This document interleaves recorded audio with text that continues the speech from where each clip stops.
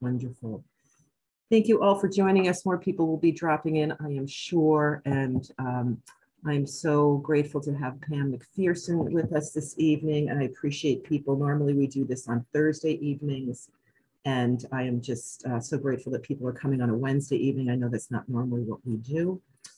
But uh, my name is Susan Barber, and I am managing the community education events here for the Elisabeth Kübler-Ross Foundation. And I just want to say a little bit about the Elisabeth Kübler-Ross Foundation.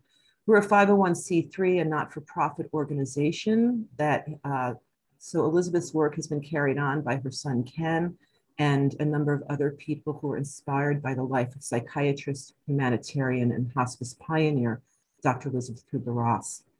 The foundation began just one year after Elisabeth's death by Ken, her son. And over the course of the last 15, maybe 16 years, the foundation chapters have been created on four continents to continue her mission to develop hospice palliative care and grief support. In 2019, most of Elisabeth's archives were donated to Stanford University, which will create a digital library to make her papers available to the public online. I want to uh, also just say that one of the things that was most important to Elisabeth was the belief that uh, unconditional love is one of the most healing medicines there is. And in that spirit, we continue her work by offering uh, free events for the public. And that is what we're doing tonight. I also want to introduce you to Pam McPherson. Pam has spent a lifetime working in end of life care and supporting people who are dying and their loved ones. And this book that she's sharing with us tonight is a result of that. She has um, spent many, many hours at the bedside of people in the last days, hours, and minutes of their life. And that is uh, come to life in the collection of poetry that she's entitled Vigil, the Poetry of Presence. She shares how late at night, in the moments of quiet intimacy, simply by being a compassionate witness, one can bring comfort and healing to those most in need. And I'm just so grateful to Pam for her willingness to share this time with us. And I am going to move you down, Pam, into spotlight here, and I am going to remove myself from here. So thank you so much. And please just go ahead and begin in any way that you would like to, or if you would like to say another introduction, or Ken Ross, who is here anonymously, if you would just like to say a couple of words. I know that your mom and Pam were great friends and that you have known Pam for many, many years. Thank you, Susan. It's a pleasure to be here. Um, I'm going to say quietly in the background, but I just want to greet Pam. Pam and I go back about 19 years or so. Uh, Pam showed up in my life. She was working on a project called the Pioneers of Hospice, a video on uh, four of the many pioneers of hospice, but she picked four central characters uh, Dame Cicely Saunders, Florence Wald, Balfour Mount, and Elisabeth Kübler Ross. So I was her uh, intermediary and uh, ushered Pam into my mom and my life. Uh, and she got to visit with my mom, I think, the last two years of her life and came out a number of times and became a great friend. We just clicked on many levels, and Pam's been uh, with me on the entire journey of the foundation. So uh, she's been uh, shepherding me and holding me steady sometimes when I begin to wobble. Uh, she's got a lot more experience than I do, um, but uh, it's been a lovely friendship, and she's been a lovely voice of uh, reason and knowledge and friendship during these last 19 years. And it's been an honor and privilege to have her as my friend. And we don't get to visit each other enough, but we try to do what we can. And uh, hopefully, there's a few more projects together uh, between us out in the future. So we're working on one or two things quietly. But uh, anyway, I'd like to thank Pam for being here, and I'd like to thank all of you for spending part of your evening with us. Foundation's been uh, up and roaring for about 16 years now since my mom died, and uh, we have a lot of exciting projects coming, including a feature movie. So I will turn it back over to Pam, and hopefully you'll be able to see our project, the Pioneers of Hospice, uh, somewhere online one of these days soon. It's temporarily off the market. I'll give it to you, Pam. Thank you very much. Thank you, Ken. Oh, Ken. Pam begins. Ken. I just, Sorry? I just want to invite people as um, Parul has done in the chat to put in where you are zooming in from. One of the wonderful things about the foundation is there's people from all over the world that come into these meetings and it's wonderful to see where you all are from. Thank you so much, Monica, Parul. And Pam, please go ahead. Oh, thanks, Susan. And thank you, Ken, my dear friend. Um, I, I need to say that um, the work that Ken was talking about that I was involved with was with a team of people called the Madison-Deane Initiative. And I was a member of that team. And as a team, some of us had the honor and the privilege to spend time with Elisabeth. And um, it's it just is uh, one of my most special memories is uh, some of the things that we did with her. But that's for another another uh, show. Tonight we're here to talk about uh, my book video. Uh, video. That's for another video. I was going to say. Um, we're here to talk about my book, um, Vigil: The Poetry of Presence. And um, I have uh, been a hospice volunteer since 1985. And for 16 years, I was the co coordinator of the hospice uh, volunteer program um, here in Burlington, Vermont, where I live. And um, my passion during that whole, whole span of time, uh, when I discovered it, it was amazing because it's been a strong thread through the rest of my life and I'm still a hospice volunteer. I retired in 2004, um, just had my 80th birthday, and um, I'm still going strong, fortunately. So, um, end of life care is really, really what touches the deepest part of my heart. I, I just would like to jump in and read a poem to start with, and, um, and then we'll um, see what the flow is as we go along. Uh, if you have any concerns or interests or things that you would like us, Susan or I, to know um, about the process we're going through here, reading anything that you would let, request, um, please feel free to use the chat box. Soul friend. In a peaceful, still, lowly lit room lies a gentle man, a stranger to me, who has by choice had the ventilator that assisted his trached breathing removed, an act of both courage and sensibility. He now rests tranquilly away from intensive care in a private room, having accepted and now allowing the natural, gradual, slow release of worn out and challenged basic life holding body systems. Presence is what I offer unconditional acceptance, deep respect, compassionate caring. Our unspoken connection rises from the heart. Within moments, as I settle in next to him, he becomes a soul friend. I feel like the privilege of being able to sit with people when they're dying at whatever stage they're at um, is it's just an extreme privilege to be able to do that, to bear witness to a time of such great mystery and um, importance. Um, and I am one, only one. You know, in reading the poems from my book, I can assure you that the sentiments that I express and um, the experiences that I've had that have have uh, caused me to write these poems um, are, are similar experiences and feelings that are shared by hundreds and hundreds of volunteers across the world, really, um, who do this same thing. So I, I am one of many. Um, years ago, uh, well, we were talking at the dinner table about this tonight. I think it was seven years ago. Um, I was going to be on a panel for our hospice program with uh, four or five other volunteers who were going to be uh, speaking about vigil sitting for a volunteer, hospice volunteer audience. And I was trying to think what I could do, what I would have to say, especially if I was the last one to speak, um, what I would have to say that would be any different from any of the others. So when I went through my, looked through my hospice journal that I keep and I treasure, um, I realized how much poetry there was in there. So I brought a couple of poems to lunch the next day with a couple of my Madison-Deane Initiative friends and asked if I could read them poems to see if they thought a poem would be appropriate. I read them one poem. These are two very dear friends who are as passionate as I am about end of life care. And um, I read one poem to them, and they sat there and they didn't respond. And I thought, oh, that went down the tubes. Um, and I thought that inside myself. And then I said to them, Would you be willing to listen to another? And they said, Absolutely. So I read them another poem and they said to me, You what they said was you need to do something with this. So that was really the genesis of this book coming into be. I've never published anything before. I've never been public about my poetry.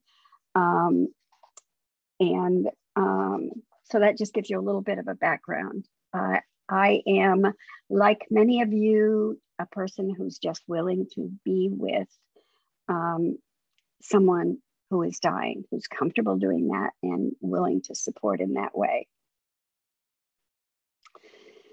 The next poem I'm going to read you is um, called Hallowed Hallway. And uh, my volunteering at the bedside has been both in the hospital and in um, people's homes or um, an end of life, uh, beautiful end of life residence that we have here that people can can um, be residents in. Um, this particular poem is uh, about me going to the hospital in the evening. The evening is the time that I most frequently volunteer. Um, anytime between supper time and, and midnight or one in the morning. It's the time that I generally choose a block of time when they're offered to, um, to participate. Hallowed Holloway, a name sounding vaguely familiar and a room number but he's being transferred, I'm told. What new experience awaits me in the sacred territory of dying? As I enter the hospital, moving through long, winding hallways, faces pass me, concerned loved ones easily identified. Other countenances with focused expressions hurry on to their next destination. Oh, hallowed hallways and rabbit warren chambers, you bear witness to days and nights of joy and sorrow, fears of diagnosis, apprehension for treatment, families sitting vigil with dying loved ones, all intervals of uncertainty, while above on the next floor, a joyful new life begins. This medical center, one vast vessel holding the fullness of life, balancing beginnings and endings, and all the challenges of health filled existence in the moments, days, months, and years that lie in between.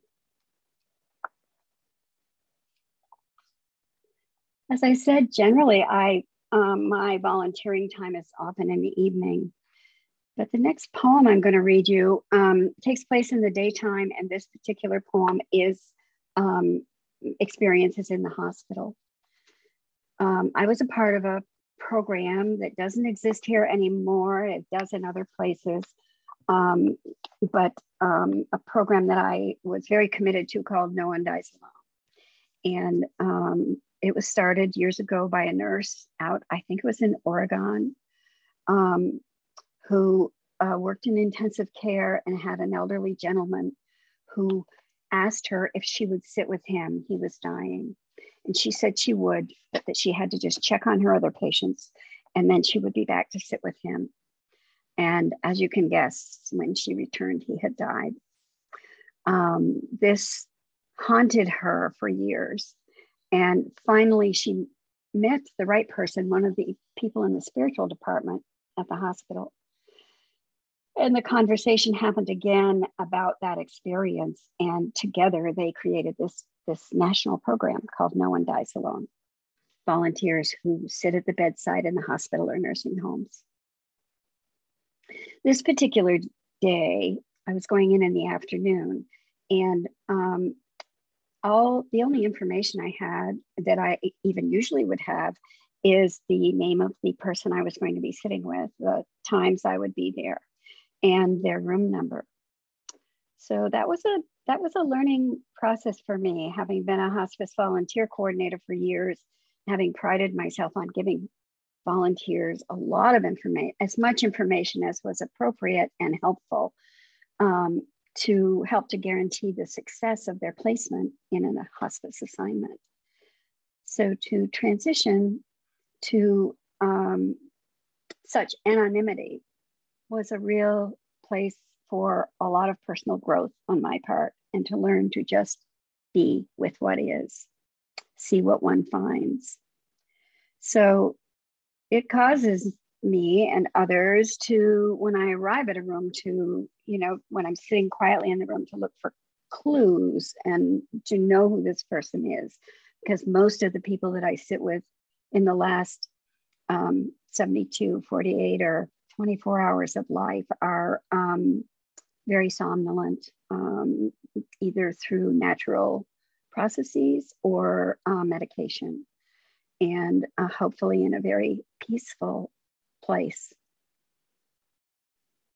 In this instance, a brother came in while I was there. So I'll just read the poem. Work boots tell a story. Angular, narrow, mustached face. Rhythmical breathing of a medicated body that six days ago was up and fighting to go home. Heavy black work boots stand motionless in the corner, one holds a brace to minimize a limp that, along with years of unrelenting hip pain, echoed the ramifications of a teenage car accident. All aspects of life were interfered with, inhibited by, and diminished by the dark shadows of challenged health. With me, a gentle, loving brother sits across the bed and shares soft spoken stories of his brother's love of fishing, a man whose physical limitations made him sit in a chair streamside, limited his ability to have regular, meaningful work, cast a dark shadow on his potential.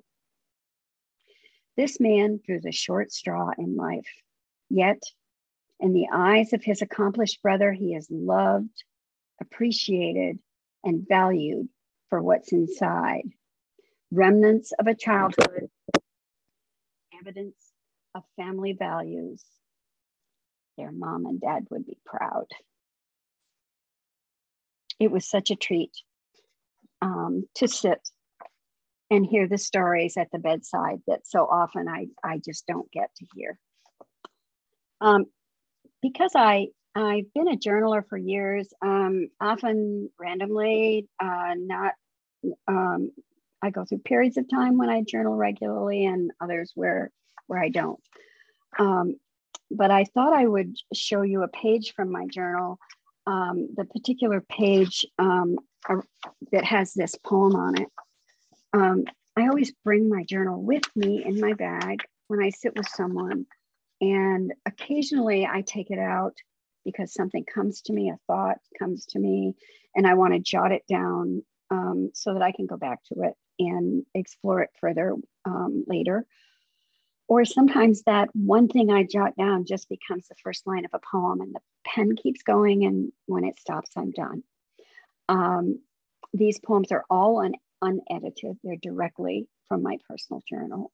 And they're my way of processing the experiences that I have in sitting um, sit, sitting with people who are dying. It, it, it's one of the ways that I take care of myself is writing. So this is a photo of the um, of the page in the journal. I actually drew a little sketch of his his boot. I did this afterward, um, but that's what this particular page in my journal looks like. They aren't always as artsy as that particular one, and sometimes they are. Um, whatever whatever moves me in the moment. But um, I just thought I might share that with you. The next poem I'd like to read for you, um, and Susan, please feel free to participate with me or um, jump in and ask me if there's something you'd like me to expand on or um, or you hear about a question that someone has anytime. So this poem um, in some of these experiences that I've had, um, I have a, a moment of um, recollection or a, a, some kind of a connection from my past life that um, catches me off guard. And um, in this particular poem, I hadn't thought about this person for years, but um, I generally sit next, very close to the person that I'm sitting with. I bring my chair bedside and sit, sit very close. Sometimes I put my hand on their arm. I always speak to them softly when I come in and tell them my name, and then I'll be sitting next to them. Um, in this particular case, when I sat down and I touched this person's hand, I said to them, I'm just going to hold your hand. And that's that's the title of this poem, and I'll tell you a little more after. I'm just going to hold your hand. I'm just going to hold your hand. How many times have I said that? Offering to sit to just be there. You may sleep. I'm just going to hold your hand, said high school freshman Benny, as we sat awkwardly silent on the living room couch. Him, a secret intruder, after two year old Colleen, whom I was babysitting, had gone to sleep for the night. This, the timid, tongue tied silence of my first dating experience. Now those words glide over my lips so easily, always spoken from my heart. They are permission, a promise of presence, focused attendance in bearing witness. And while silence is golden, I am now neither tongue tied nor timid about opening my heart to these precious, sacred moments shared with another. The backstory to this is that um, when I was a teenager and was babysitting for 50 cents an hour, um, I was babysitting for my cousin this evening, and one of my parents' rules about my babysitting was that uh, no friends were ever allowed to be there. And um, I had always respected that. This particular evening, I my aunt and uncle, who I adored, always, excuse me, always um, had um, Seven Up there for me and onion soup dip to dip potato chips in, treats that I didn't get at home. And um, so I was just sitting there dipping my chips and sipping my Seven Up um, when someone knocked at the door. And I, of course, wasn't expecting anyone. And I got up and went to the door. And when I looked, um, there stood Benny. He was a year older than me. We were in high school. I think I was a freshman. And um, he had come to see me. And I could see my mother's face and I could hear my father's voice. And I said, Come in. Um, caught off guard completely by my willingness to do that. Um, so Benny came in and we sat on the couch, and he was a kind of a gentle, timid fellow, very nice fellow. And um, we sat on the couch, and I got him some 7 Up and we dipped our chips. We talked a little bit, and then there wasn't anything else to say. Um, so we sat there in silence, uncomfortable silence, until he finally reached over and he just said to me, I'm just going to hold your hand. So we held hands. And after some more uncomfortable silence, he said, I think I need to go now. And he got up and I saw him to the door and he left. I hadn't thought about that experience in probably 50 years.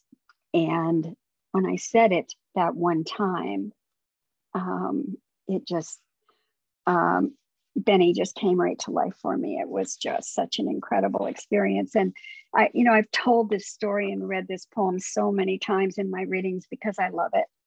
Um, and uh, one of the participants in my readings, I received a little package in the mail for her from her afterward, and look what it was: Lipton's onion soup mix to make the dip. very, very, very 1950s.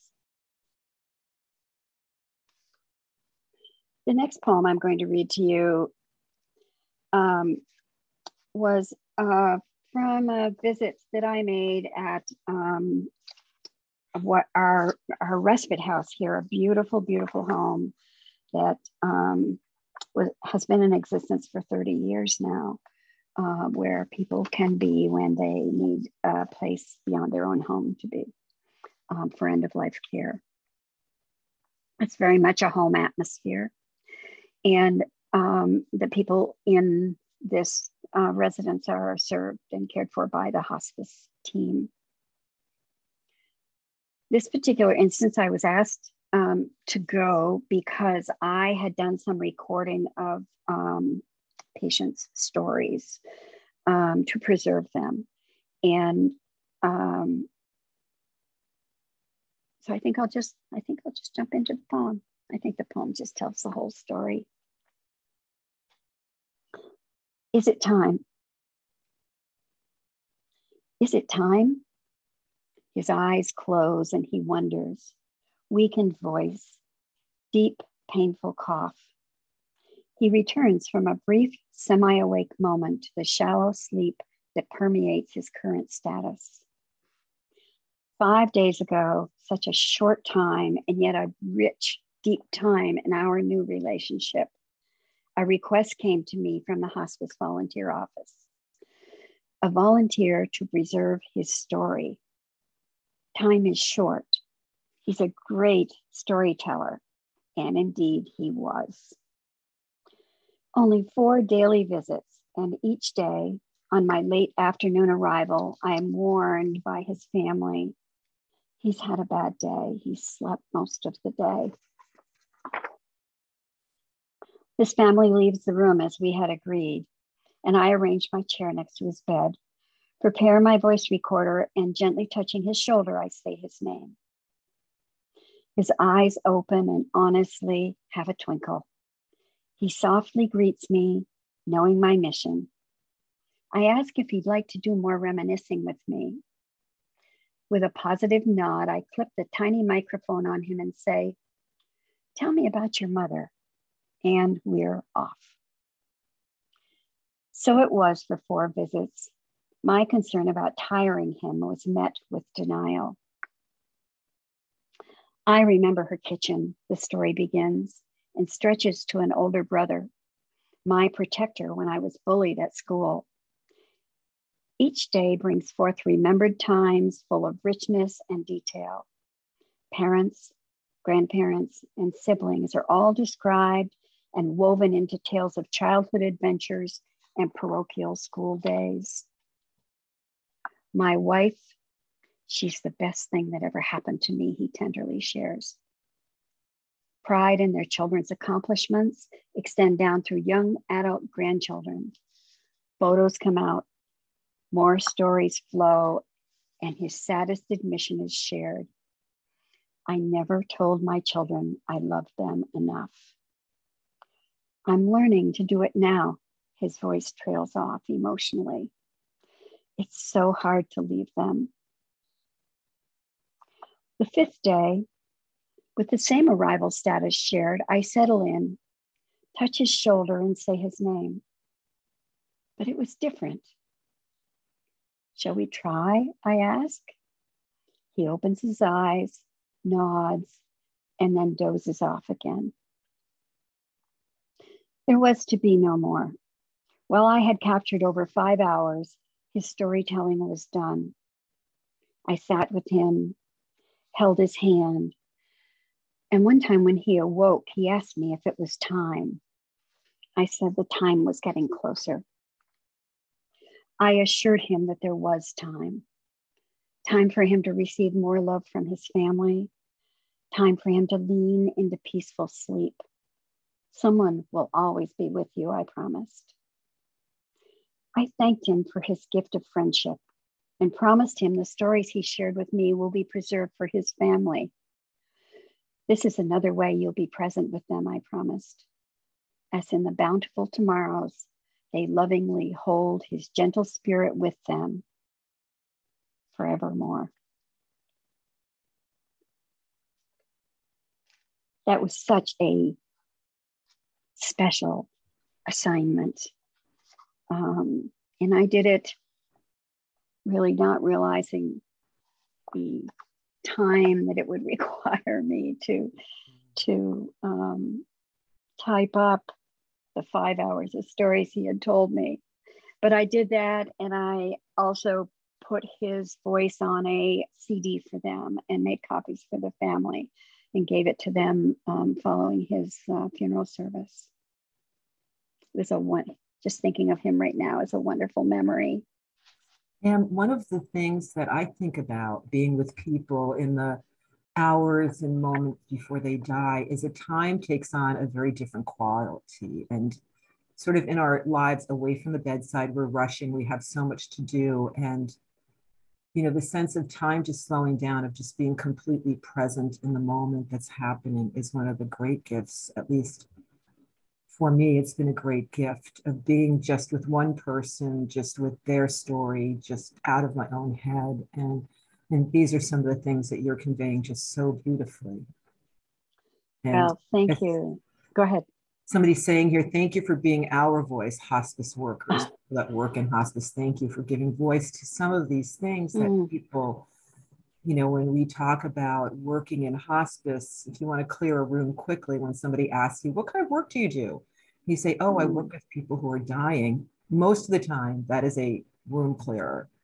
Mm. And yet, for people that do this work, it's hard. I think it's very hard to articulate just the beautiful experience that this can be accompanying somebody right up to the thresholds, um, right up to that mystery. This is a mysterious experience, our life. And I think there's no time that makes that more clear. Maybe birth. I have only been to the birth of a small, tiny cow. Um, but, uh, you know, death, certainly, there's just, it's an otherworldly experience the times that I've been with somebody when they're taking their last breath. And I think these poems just express that so beautifully. Uh, thanks, Susan. Um, yeah, you know, everything that you said is so true. Thank you for saying those things. And it's, it's good to bring me um, back to um, one of the really most important things that I want to talk about, and that is about being present. Mm-hmm. The um, value, the gift, and what it is uh, being present. Um, because um, I mean that is that's the title of this book. It's how important that word is to me. Um, the poetry of presence. Um, being being with someone and just being not doing. We are, we are, we humans are are doing people, and not as good at at being being people. Um, when I, I love to share how I how I arrive at an assignment. Um, when I uh, accept uh, and often we're tag teaming. There are other volunteers that are filling in with me. We are each taking a, a clump of time to sit with someone. Um, uh, when I head out to my assignment, be it at the hospital or in someone's home or respite house or wherever, I'm um, toning myself down. I'm trying to let go of my day and um, and just bring myself into a place of calm and peace. And when I arrive, when I go through the door, the, the portal to their space where they are, and I'm uh, in my head, I'm imagining myself in the hospital, having gone through the long corridors and everything. When I get to the door, I just pause for a second. And when I go through that door, I make a commitment to leave what anything that's about me outside the room, my day, um, the things that have been on my mind, what my kids are up to, what I'm doing tomorrow, outside the room. And I enter the room to just be, to be fully present to what I find when I get in there, to give it my, to be alert, to give it my full attention. Um, and while much of the time that I'm sitting vigil with someone is silent time, um, it's very tranquil. Sometimes I do speak, sometimes I uh, if a person is responsive or um, or restless, or if I want to respond to something that's going on for them, um, I often will say, um, uh, I'm blocking the word I want right now, but um, phrases that that aren't empowering, but that are reassuring, uh, like you're you're doing important work right now. I'm honored to just sit at your side and be here for you. Um, or I hope that you feel all of the love that's around you as you're entering this important passageway in your life, that sort of thing. Um, but much of the time is silent. But re- what's really important is about, for me, is about being fully present. And when I'm fully present, there's things for me to learn. There are always things for me to learn. I never know what they're going to be, but um, I just want to be open, just to to recognize and um, see what they are.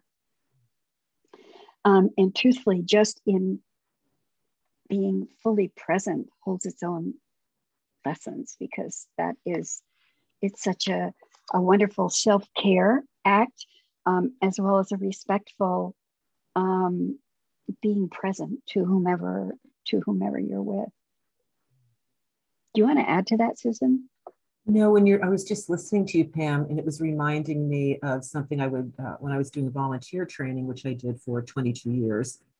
Um, I would talk to the volunteers about um, hand washing before they go to see the patient in the house, if they're going to the house or in a facility, um, to really wash their hands and to use that not just as a sort of uh, cleanly, like really just to become cl- clean, to so you're not bringing anything literally into your patient, but to really use that time to just literally wash away anything that's going on in your own life at that moment. And the reason I feel like that's so important is many years ago, I was at a Stephen Levine workshop, and mm.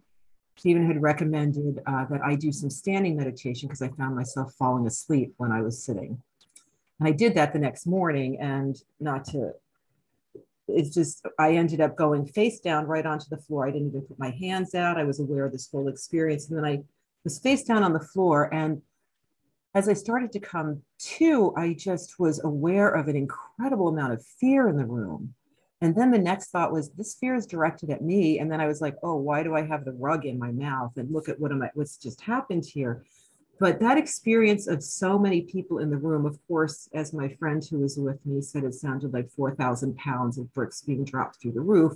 So it did make everybody feel a little weird, but it became profoundly, um, became a profound experience because I feel like when we go in to see patients, they are so attuned. It's almost like they turn down the volume of what we're saying and they're just on this other wavelength of the feeling state that we're bringing in. So to go in as fully present as possible, to let go of the other things that are happening in our lives, and to find a way to really make that transition either through the hand washing or for some people they'd say you know a mantra or they'd say a poem or they would say a song they do something that would really bring them to the present moment and as you said, being present with somebody, being present with anybody at any time is such an incredible gift for the person that we're present with and for ourselves. But I think it's hmm. amplified at end of life when that feeling state that we are bringing to the bedside is amplified because they're just in this other kind of space. So, mm-hmm. very um, true. And as somebody just said here, you're you've you've put words to this experience in such a beautiful and dignified way that they just really just really appreciate that. And Thank silence you. is great eloquence. Yes, Richard, that's absolutely for sure true. Thank you. Um, yes, that's so true. And you know, Susan, I have come to realize uh, I, I give full credit um, to the people who are dying. I think that they're my teachers. Oh, sure. um, I think that for me, um, the privilege of, of bearing witness um, during this important transition in their life um, um, is a teaching moment for me. And I, my job is to keep my heart open and my self open to what I'm supposed to learn. Um, yeah, it's really it's it's amazing. It's it's I mean I'm just so fortunate that I'm allowed to do this. I completely agree. You know, one thing I, is also coming to mind was this. Um, you would do these things at Stephen's workshop. About halfway through, he'd have like people, one person lay down on the ground, the other person sit next to them, and just make the ah sound every time there was an exhale. And it seems like such a simple exercise. We do that for two minutes, and then people would switch. The person that was observing the breathing would go down on the ground. And there were so many times where people came up just sobbing. And they said, mm-hmm. This is incredible. My wife and I have been married for 20 years, but I don't think either of us have paid just that kind of attention to each other in such an unfiltered and just such a holistic way.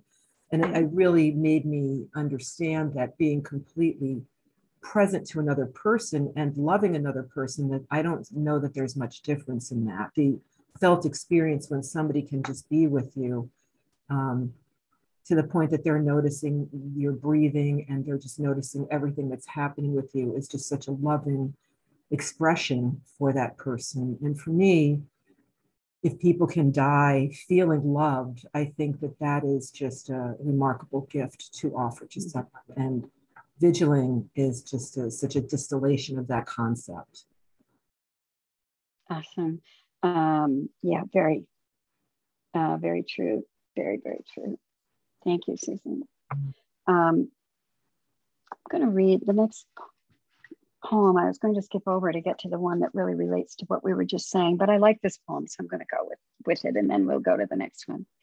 Um, this poem is called Birth Love, and this again was a hospital experience that I had. And um, I would I would define this as a situation where it felt like life wasn't fair Birth love. Flashing through the windows, passing car light beams glisten on the rain slick street, a reminder of life as usual, while one small, frail woman sleeps the gentle sleep of a morphine drip. A motionless body winding down, her corporal mechanisms overworked, worn out, challenged by alcohol to the point of failure. 55 mortal years closing in, preparing to release a spirit for whom I sensed life was not fair. May she have felt loved. May some of her wishes have come true. May she have laughed heartily and been embraced when overcome with sadness and tears. In this moment, I will hold her parents' love for her on the day she was born, returning it to her through my compassionate presence as I witness her final hours and moments in this universe that is all that we know.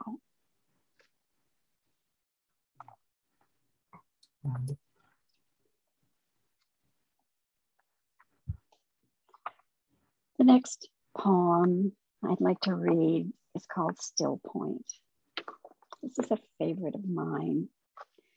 And um, the quote that comes to mind whenever I read this is one by Sogyal Rinpoche, who wrote the Tibetan uh, book of living and dying. And that is Death is a mirror in which the entire meaning of life is reflected. Great quote.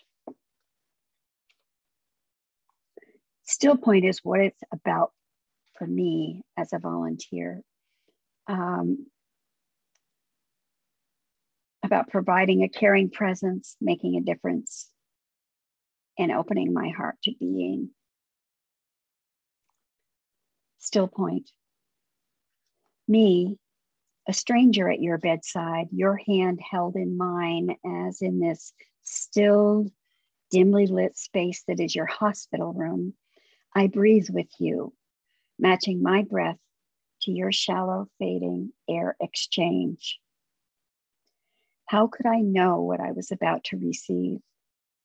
Your presence, your dying brings me to my still point, the place of centering and calm, so difficult to access in the hum and buzz of everyday living, a place where nothing exists beyond our sacred shared presence.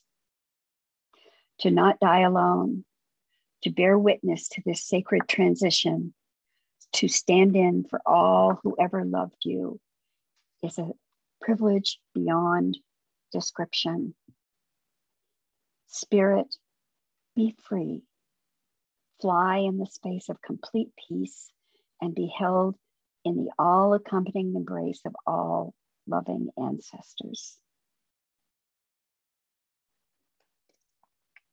Ancestors come up a lot for me when I'm sitting vigil or writing about my experiences of sitting vigil. Um, often uh, just awareness of my own ancestors accompanies uh, doing this, which for me, I think is another form of afterlife. It's it's really nice to have them come into my head and think that maybe we have some connection.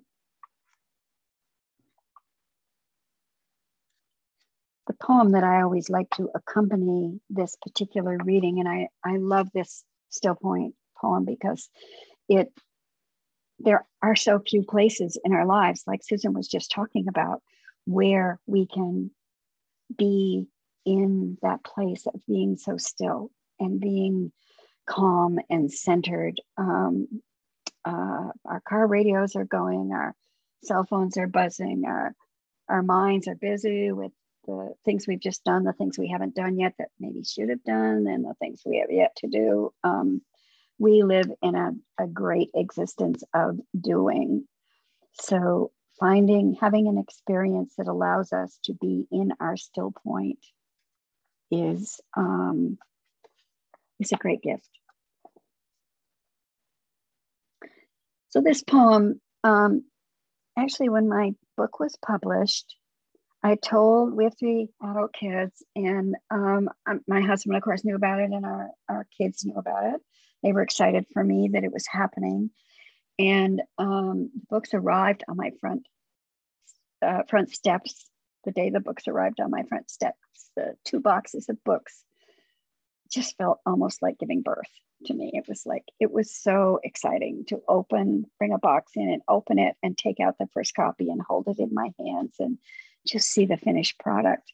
I was so proud and so elated and just so happy. Um, I didn't tell the kids the books had arrived. I quickly took out three books and, and inscribed them to each of them and immediately put them in the mail to them to let them receive one um, as a surprise. And when my our youngest son Andrew received his, I got a message from him that said, "I'm at work. I I can't read the book right now, but I just got it and I'm so excited. And I looked at just the beginning of it and I can't wait to get back to it tonight. So that night I was just climbing into bed and it was around 1030 and um, ready to turn out the light when my cell phone was on the bedside stand and um, uh, there was a text message on it. And I, you know, had that dilemma that most of us have. Do I re- do I look at it and see it, or do I just let it wait until morning? And of course, just like Benny, I said when I said come in, um, I looked at it and it was from Andrew, and he said, "It simply said, Mom, I've read the um, preface to your book. I've read some of the poems, and there's one poem." He said, "I have read it three times. I even read it out loud to myself." would you read it to me? And I was like, Andrew, I just got into bed. And of course, of course I would. So we got on the phone. Um, I got out of bed, got my a copy of my book, climbed back in again, and he was in bed with his book, and um, I read the poem to him. Um, and we t- and we talked about it. And then, of course, it was let, let's read another one. Tell me what page before you start to read, mom. and I think we were awake doing this until about one in the morning. It was just an amazingly wonderful time together. But this is the poem that um, just stopped him. The title of the poem is Whose Son Is This? It has nothing to do with Andrew. um, whose son is this? Whose son is this? Whose innocent babe grown homeless? What path divided at perhaps a critical time, mental illness guiding his itinerary through troubled decades, a schizophrenic burden his to carry?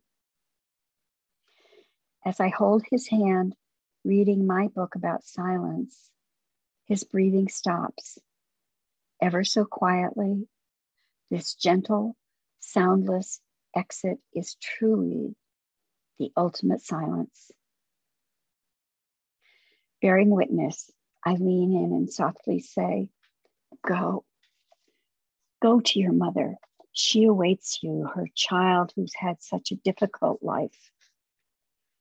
Fly, spirit, you are now free. And as I sit there, I wonder is his spirit soul gone? I see his shell, feel the slowly creeping in coldness, silence of spirit, now of body, silence. For him, freedom.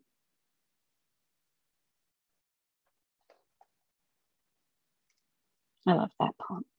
I can relive that moment. And in fact, most of my poems, when I read them, I'm still picturing the person that I was with um, that caused the poem to be written. One of the things I would say, well, a couple of things I would say um, following this poem is it's very rare that someone dies when I'm there. I am sitting with them for a two or three or four hour period of time. Um, but that's a speck of time in their extended time of dying. Um, however, sometimes it does happen when I'm there. And I personally just see it as such a sacred, sacred moment to just hold, to just be with. In the hospital, when this has happened, I actually have come to a place where I don't go right out and get the nurse and say, you know, Joe Blow has just died.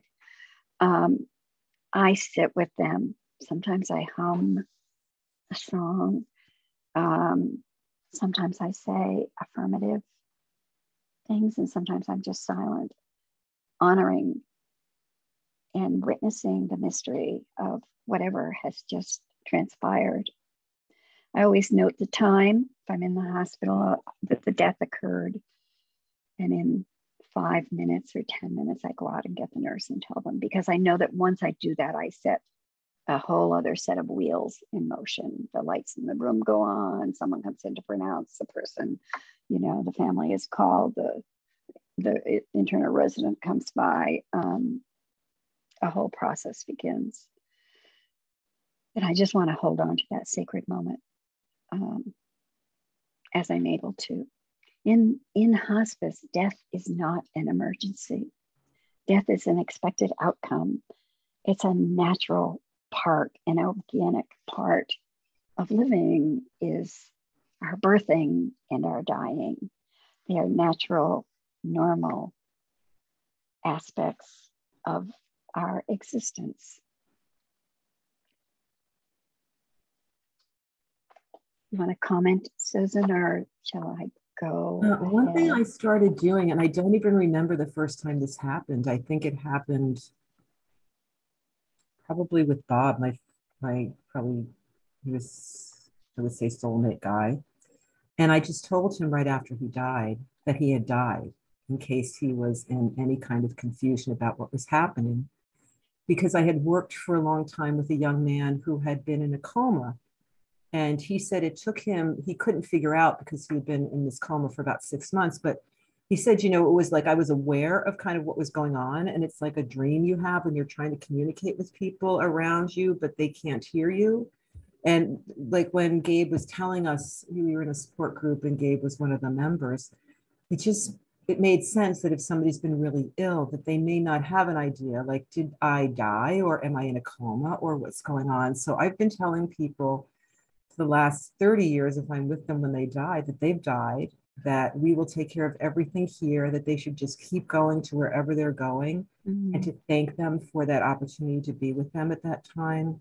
And as I will tell people, I have no idea if that is useful or helpful to them, um, but it does make me feel better that if there's any Mm. confusion in those moments, that they understand what's happening. And so, yeah, I don't like to go and get the nurse or call the hospice or any of those things because then that's that's a whole bunch more activity right away.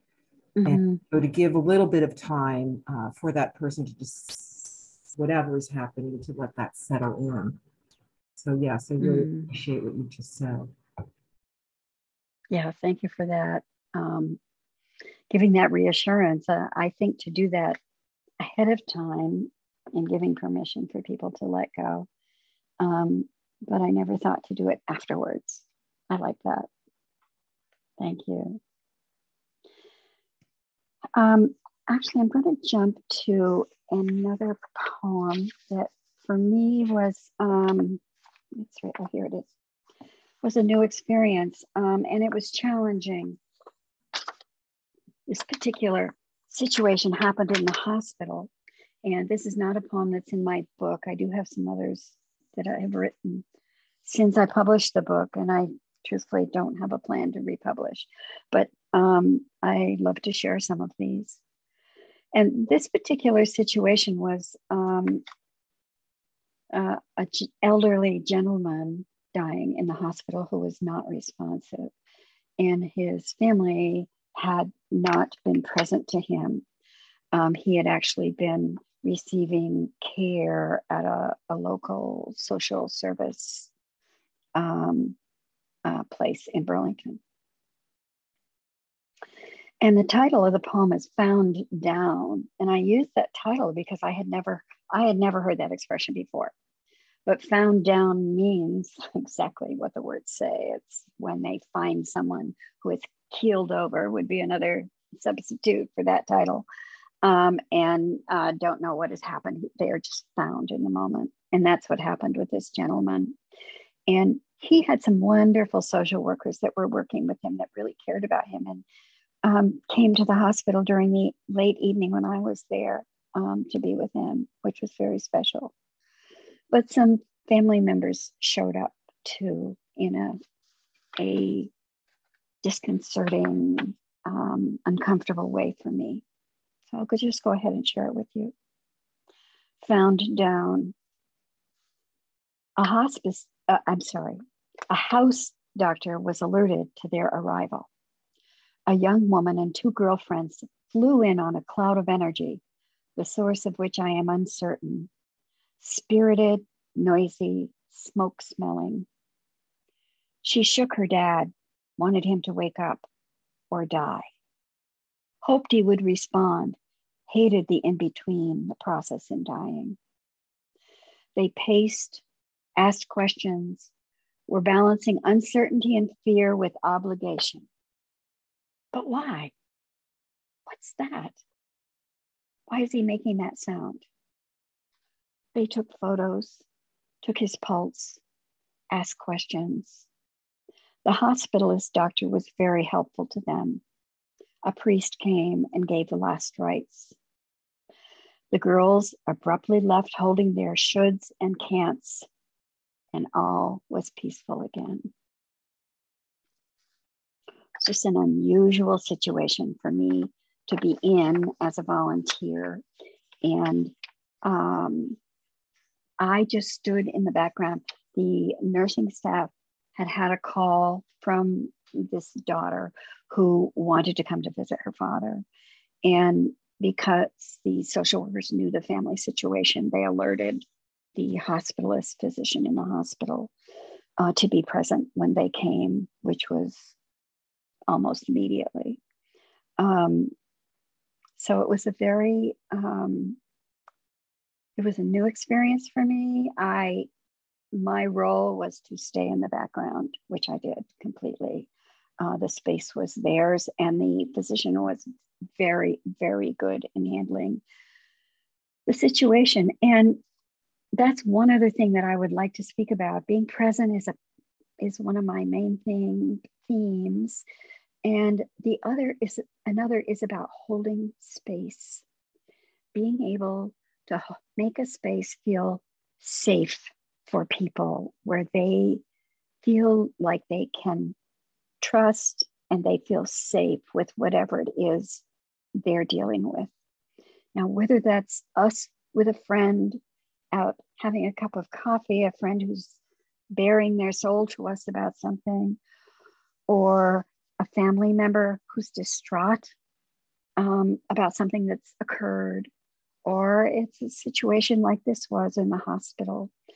Um, holding space, when we hold space for someone, we hold, um, we, we make the space safe for them. We cause them to feel that the space is safe, that they can trust us, that we will give them our full attention. It is not about solving their dilemmas or problems. It's not about having the answers, but it's there's no fixing, there's no judgment, and no changing the situation. It's an acceptance of the situation as it is, and just witnessing and validating what the other person is experiencing. And I think in this poem in this situation, I feel that this hospital physician did that for these daughters. He was present to them. He allowed them to do what they needed to do to be who they were and and kept the space safe not just for them but for the, the patient too and for the rest of us in the room. Um, but it's it's uh, it's a huge gift that we can give when we can hold space with and for someone else. Let it just be about them. And we are not there to fix it um, or even to make it better, except that our presence and our understanding, our, our um, compassion um, may make that moment better for them. And our just being so present to them too may also um, give them um, the space to discover what their next steps might be or to resolve, begin to resolve whatever is going on. It's a huge gift.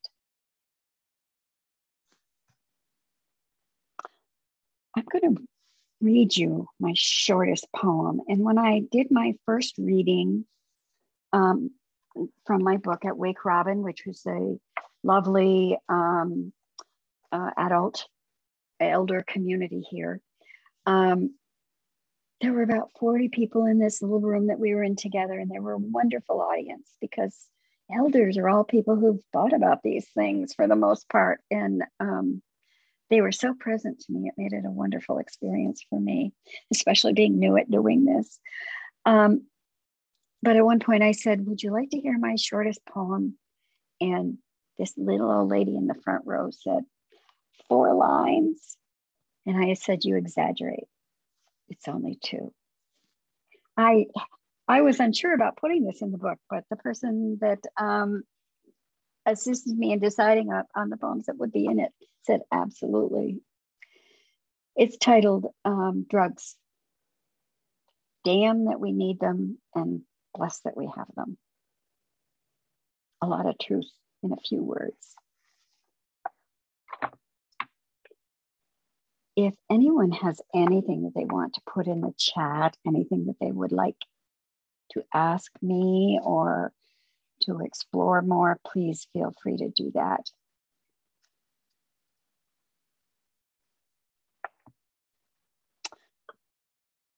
Um, this is uh, this poem this is from an experience I had actually in the hospital.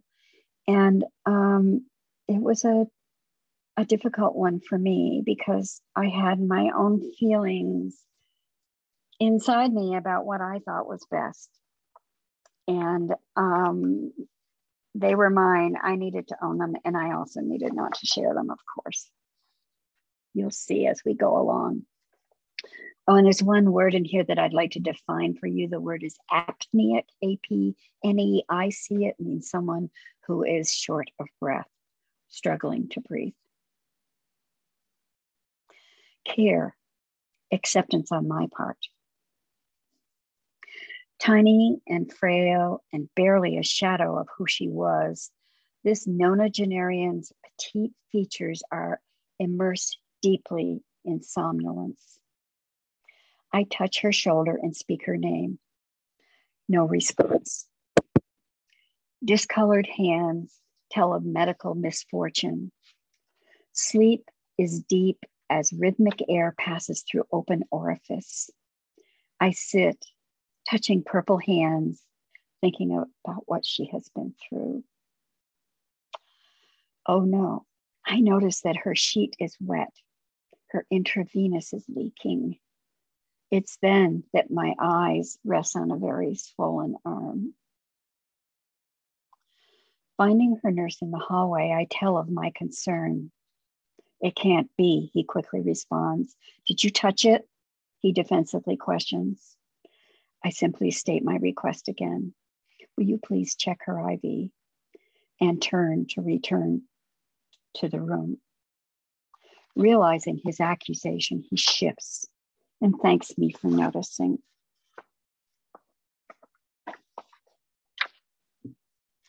He arrives in the room, examines her arm and intravenous site.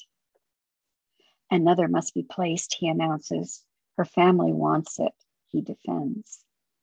This sentence is hard for me to hear. My heart questions Her family? What about her wishes?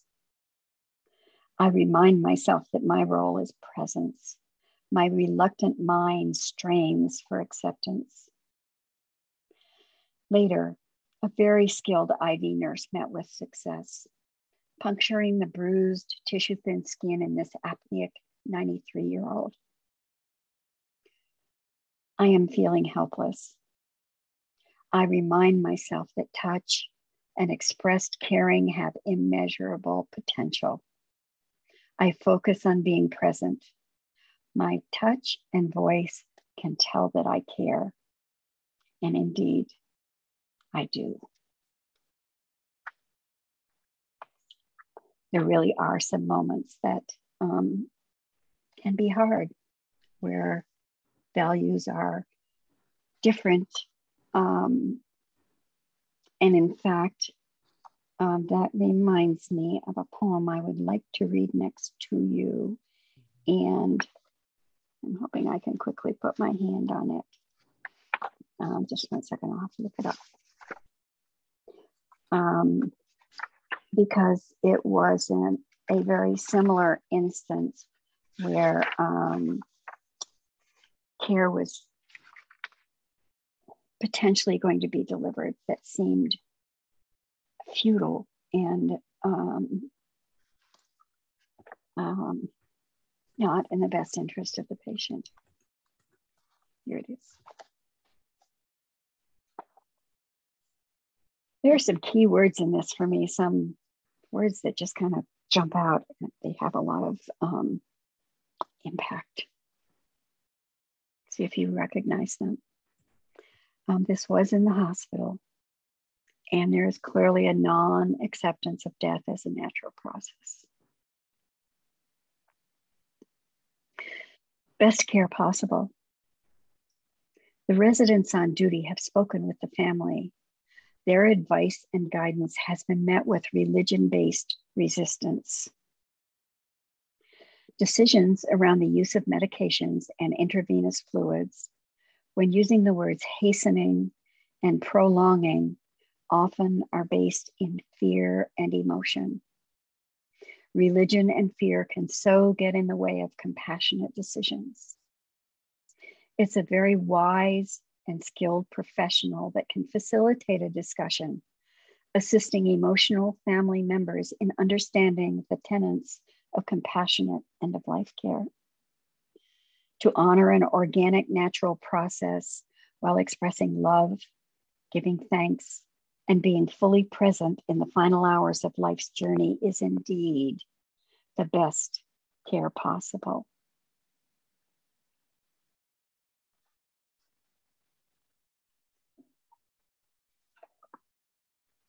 I think I need to say anything else about that. I'm looking at the time and I think I'm going to um, I'll read one more poem that isn't in the book. Mm-hmm. Just came across this one. I haven't seen it for a while. I read it two years ago. No. What year are we in? Four years ago. Invisible unity. I breathe with you, matching my breath to yours, my way of entering your world. Like a couple dancing who in graceful movement become unified as one, I seek to, with deep compassion that holds no needs, no ego, become an invisible one, accompanying you soul to soul in your gentle release from this life as we know it. Move toward the light. Let go. Trust that you will be embraced forever, dear one. And that's something that we who sit with with um, volunteers who sit with patients, sometimes that's what we do is we uh, match our breathing to their breathing, which sometimes is actually very hard to maintain, of course. Um, but for a period of time, just to um, create that um, intimacy, that that connection, that fully being fully present um, with another. I'm just looking quickly through um, some notes I have, little tidbits I have here, just to see what else uh, there is I might want to share with you before we begin to close. Um, you know, it's interesting. It, it's hard for me to express. I don't express, I can't express what I want to say about this privileged work um, in a better way than that which is already written in poetic form. Um, for some reason, I didn't, I've only learned, and I still a little trouble with it to say I'm a poet. Um, but um, there's something about the um, economy of words that draws me to poetry. I, um, if I were to write of my experiences um, in uh, paragraph form, I would blather on and on um, endlessly, maybe pointlessly even. Um, uh, there's just something about poetry that has drawn me, and um, it's so satisfying to um, be able to express what I'm feeling and process. I'm processing what I'm doing. These poems are processing, and um, they're my processing of the experience that I've had, so that I can um, hold it in a more passive way and go on to the next experience that I will have, um, and be uh, spirit well in the meantime um, as I go forward and learn and learn from it. Um, And I was going to ask you just a little bit about your process because I'm wondering, you know, sometimes the experience of writing poetry is that it just sort of drops, you know, it's just, it comes to mind and you have to get it down on the paper. Um, other people work with poetry in different ways. And I'm just curious about your process with poetry and how this started. Is this something that you've been doing your whole life to process your experiences, or is this something that really began when you were doing vigiling or? That's certainly where I've been most successful at it yeah. in in, uh, in my own satisfaction. Uh, uh, my own satisfaction meter runs very high um, because of how this has worked for me uh, personally. Uh, I had no idea. I mean, I just I was just following my intuition, and as I said um, in the poem about Benny, speaking about that, sometimes a phrase comes to me, just mm-hmm. um, something brief. It's a one liner, and I jot it down and take it home with me. Um, and often my pen starts when I take that line and I just go forward with that. There's no rhyming. There's no um, particular rhythm and that, that I'm trying to. There are no rules I'm trying to follow when I write, um, and it's just how it comes out of me, and it's very clear to me when it's done. Um, I don't go back and edit. I don't ask anyone to read them to um, improve them or to react to them. Um, and truly, actually, one of the things that was hard for me was um, taking them out of my journal in my own handwriting, in that I explored on that page my feelings in in the moment, my processing, and putting them in the computer and printing them out on a piece of white paper in font. mm-hmm. It just it changed something uh, uh, in my experience of uh, the intimacy I feel with what I've written. It, it, was very, I got over it, but uh, it was just an interesting um, experience for me to have. I'd imagine it's such a personal, you know, it's such a personal experience to be with somebody when they're dying and to be there witnessing their experience and then to write that down and then to put it on paper with the thought that it's going to go out into the world. Um, and I'm just curious about that experience for you. Yeah, that thought was never there, truthfully, Great. ever. This is my personal journal. Uh, journal. I was um, quite surprised when I went through my journal um, to find I had 85 poems in it. Um, and it, it was the, the point at which I really realized that this was my form of processing mm-hmm. without even acknowledging that before. Mm. Um, it, it's satisfying for me. It does what I need to process and take care of myself. There are times in sitting vigil where I need more processing than um, a one page or a couple of pages in my journal or even a few lines in my journal. Um, and I need to do that either. I do that either with an, a vol- another hospice volunteer who sh- shared the same experience with me, um, who was also on the team that sat with this person, or a volunteer coordinator. Um, but of course, everything is is very confidential, and we respect that.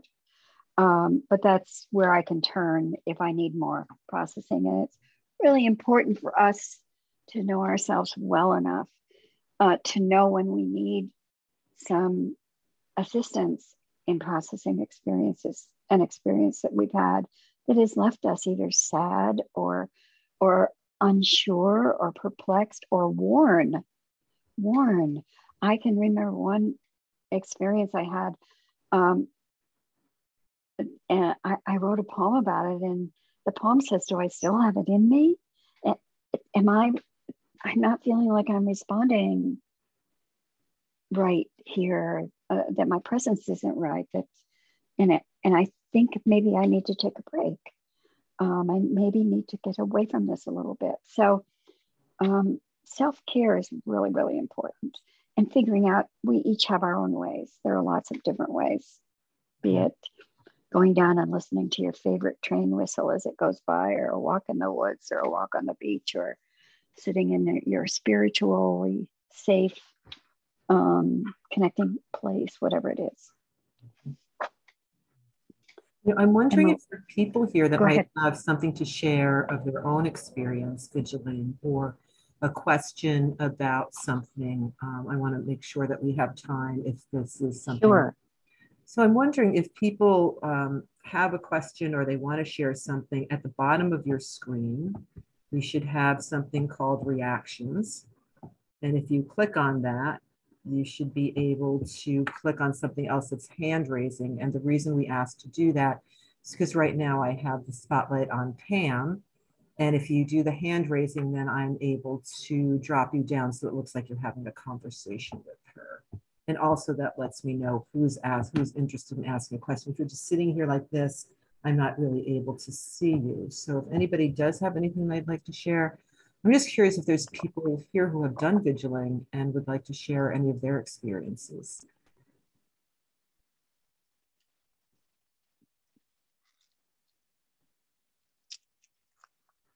It's a quiet group. Quiet. Okay. Also time. Just um, hopefully they're still awake. Yes. But truthfully, um, my poems are a lot to hold. It does induce quiet. yes. Um, in fact, you know, I was asked uh, to do a reading and I would do it at, a- at a luncheon. And I said, "Mm, I don't think that's really the time for this. These are, um, these poems are pensive and um, they can feel very tender to people. Um, they can have triggers in them for people for um, experience, personal experiences that they've had around death or dying. Um, so I understand quiet. And, you know, when we as a population had to switch to this form of communication like Zoom, I'm so used to doing my reading standing in front of a group, holding my book and walking back and forth and being able to see faces and facial expressions and reading the group and um, having a sense of where to go next. Um, because of that, I was really apprehensive about um, the what felt kind of sanitized to me um, experience of of screen time sharing. And um, one of the early Zooms that I did, Susan, was with you with Mission Hospice. And, you know, we were saying at the dinner table tonight, my husband was saying um, something as I was leaving the room. And, and um, you know, I can't remember exactly what he said, but my, my response was, um, I never could have done this. I could could have never been with the EKR Foundation without Zoom. Right. I would have had to have traveled. Yes. I couldn't have been with Mission Hospice or YOLO Hospice or um, Yeah. other programs that I've been with. Um, it wouldn't have happened. Mhm. So it's been quite a gift. yes. It's been quite a gift, and it actually it, it works out pretty well. yeah. Um, I wish there could be more exchange, personal exchange on a, you know on a personal level, Mhm. but um, it has worked quite well, and it has surprised me. And my own comfort with it has surprised me more than anything. Yes. And it's such a beautiful experience that we can have people from India, people from California, people from all from Canada, all in the same room together experiencing this. Anne says here that um, Anne says here that that's so true about your poems. It brings up a lot for me. And also Deborah says that often her patients tell her that she they are going home. Mm, Yeah. Beautiful. Yes, which is beautiful because going home for most people is a comfort. It is. They're It not in distress at that point in their life. Yes, I've heard many people express that.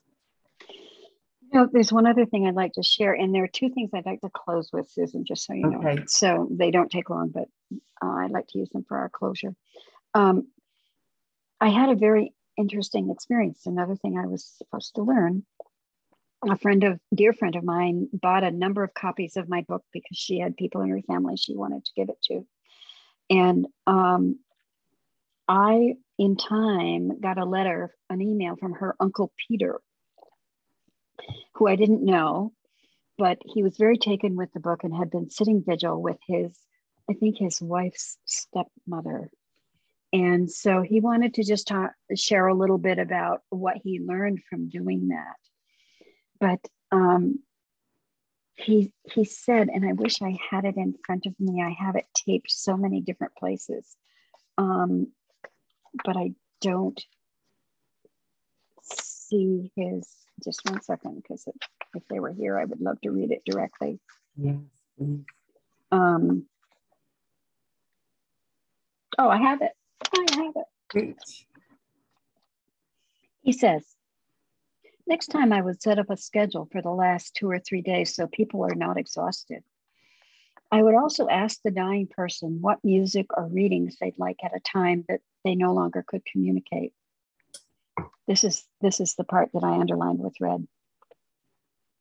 I know a lot of people say they do not wish to die alone, but for myself, it looks like a solo journey where no companions are invited.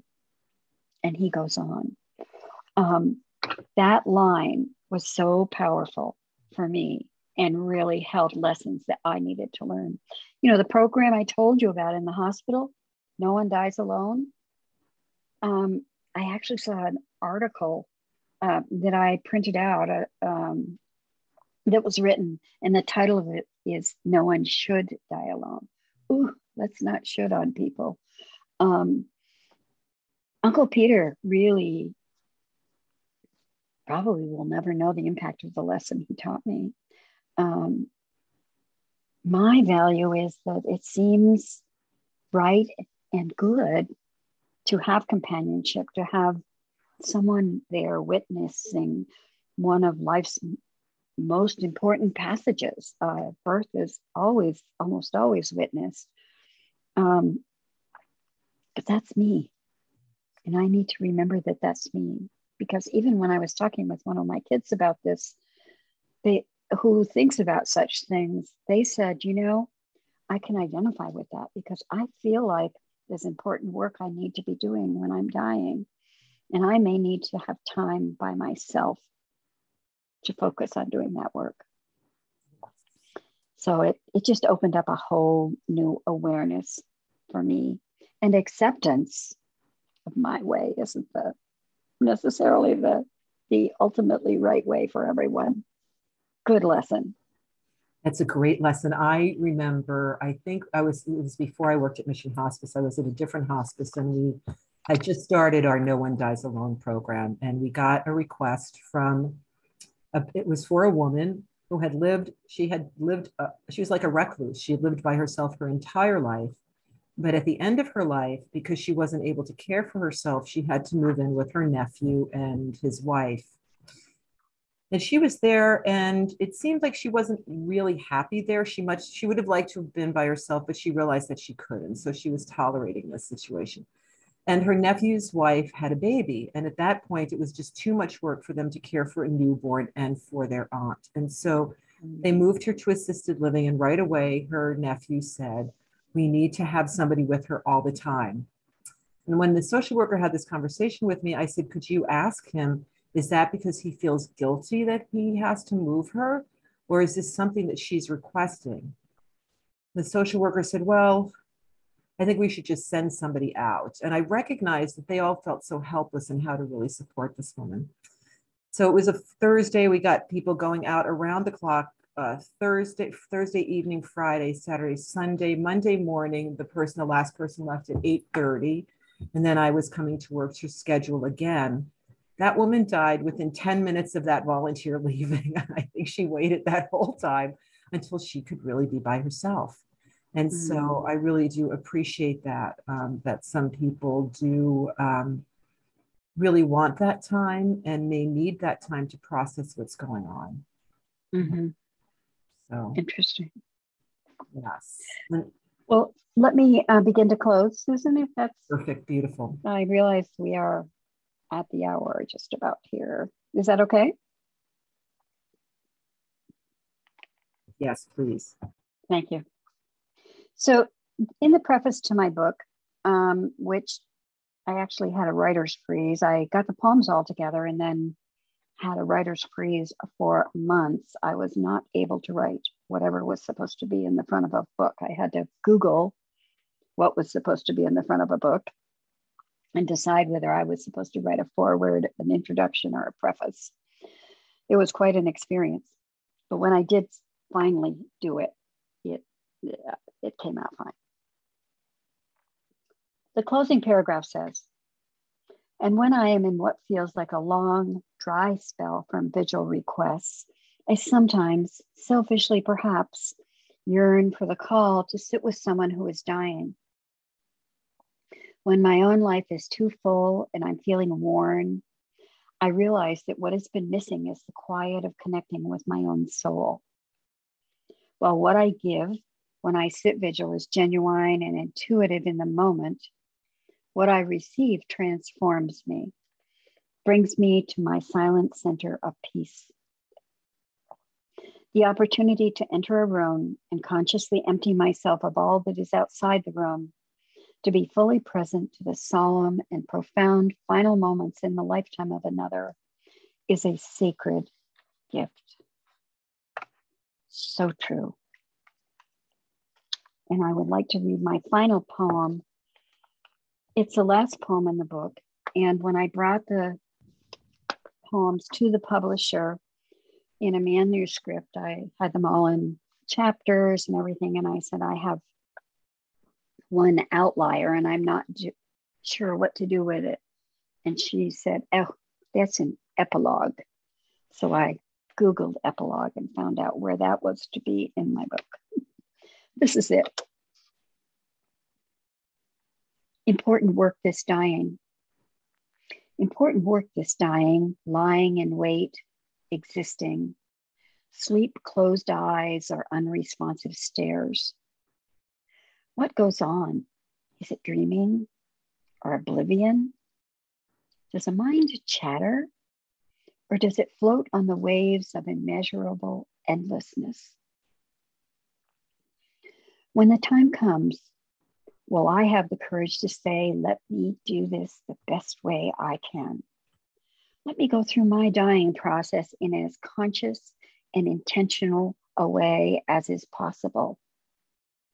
I want to suck the marrow out of life, to lift high the blinds on life's windows and embrace the warmth of sunlight, absorb the beauty of the night sky. I can do it if you'll be there with me as I also face storms and clouds. Let's be to courageous together as I walk my journey to forevermore. Thank you so much, Susan, for hosting me and the EKR Foundation and my dear friend Ken. Um, it's been wonderful to share this this time with you. Thank you so much, so much, Pam. It's such a beautiful, um, such a beautiful evening. I was telling Pam and Ken earlier that I feel quite ill, and I was not sure I'd be able to sit up straight for the hour and a half. And I feel so much more relaxed now. I feel like now I can just go and go to sleep, which is really my goal for this evening. And it's just beautiful, calm, and peaceful feeling. And I, um, I just am so grateful for you being here, for us to have the opportunity for community uh, education events, to all of you who have come this evening. And I also want to just say that there will be a recording of this event coming out, I hope in the next couple of days. And I'm going to go ahead and turn off the video right now. I did put up in the chat how you are able to get a hold of Pam's book. That will also be in the information that we send out via Eventbrite. So you should get an Eventbrite email that will have information about how to purchase her book and the link to the YouTube channel that will put this up on. So I'm about to stop recording and I just want to thank you all for being with us tonight. And uh, Thank you on behalf of the Elisabeth Kübler-Ross Foundation, myself and Pam. Thank you. Thanks to everyone.